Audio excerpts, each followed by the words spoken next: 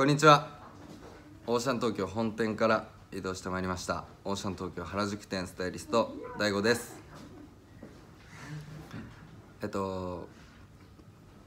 まあ今日自己紹介動画ということなんですけども、えっと、途中お聞き苦しいことや、えっと、途中動画が少し、えっと、途切れ途切れになってしまうことがあるかもしれないんですけども、えっと、そちらご了承いただけると嬉しいです。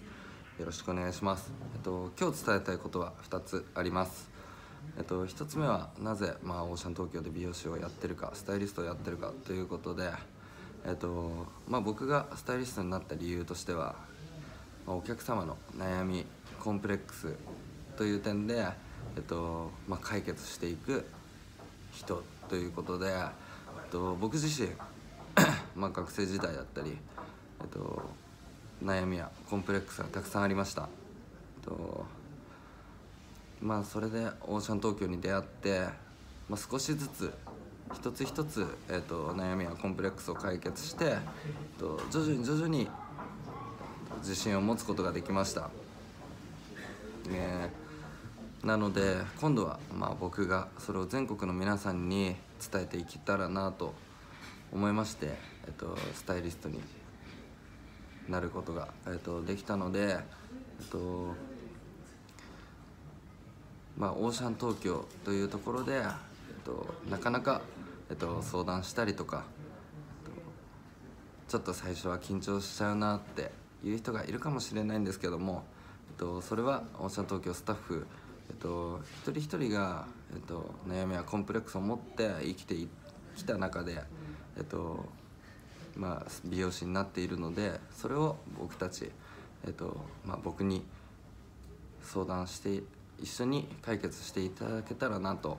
えっと、思いまして、えっと、やっているので、えっと、僕と、えっと、相談して、えっと、少しでも、えっと、一つ一つでも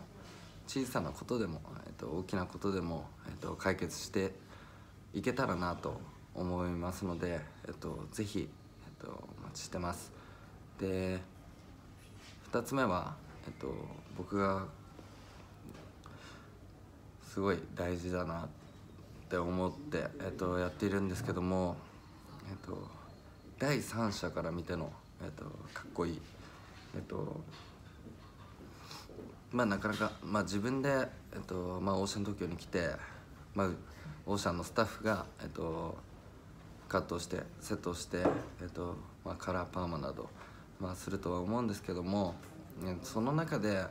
とまあ、かっこよくなったな嬉しいなって思うのって、まあ、徐々に当たり前のことになってるかもしれないんですけどもその中で、えっと、オーシャンから、えっと、一歩踏み出した、えっと、その瞬間から、えっと、あの人の髪型かっこいいなとかあの人みたいな髪型にしてみたいなお家に帰った時にお父さんお母さんに、えっと「今日の髪型かっこいいね」とか「その髪色いいね」パーマかけたすごい似合ってるね」とか友達に会った時に「どこで髪切ったの超かっこいいね」とかそういう、まあ、ヘアスタイルを、えっと、提案していけたらなと思いますので。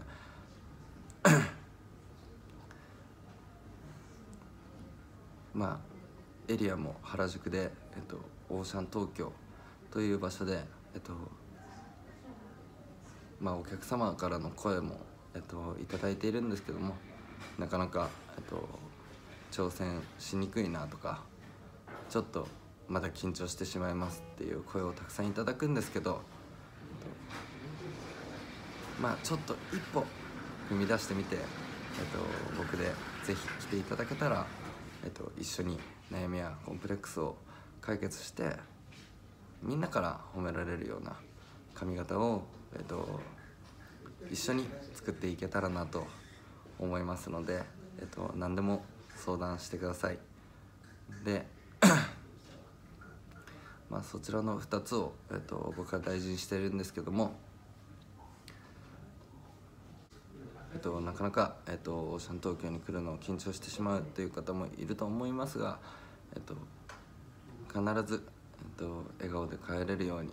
えっと、一緒に、えっと、悩みやコンプレックスを解決させていただきますので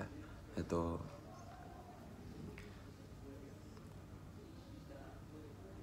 僕のところに来てみてください。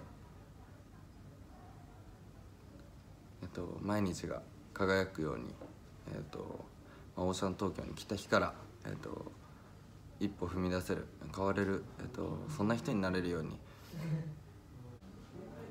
僕から、えっと、伝えていけたらなと思いますので、えっと、ぜひ、えっと、オーシャン東京原宿店に、えっと、ご来店いただけるように、えっと、お待ちしてます。途中、えっと、お聞き苦しい点などあったとは思いますがえっと ぜひ、えっと、僕で、えっと、ご来店くださった方には、えっと、たくさんアドバイスや、悩みコンプレックスの解決を、えっと、させていただきますのでお待ちしてます。えっとインスタグラムなどもえっとあるので、えっと、そちらを、まあ、ご覧になっていただけたらなと思いますのでどうか、えっと、よろしくお願いします。まあこれからオーシャン東京原宿店でえっとまあ、オーシャン東京を引っ張れるような、えっと、存在になれるように。それには、えっと、皆さんの力が必要なので、えっと、よろしくお願いします。ぜひ待ってます。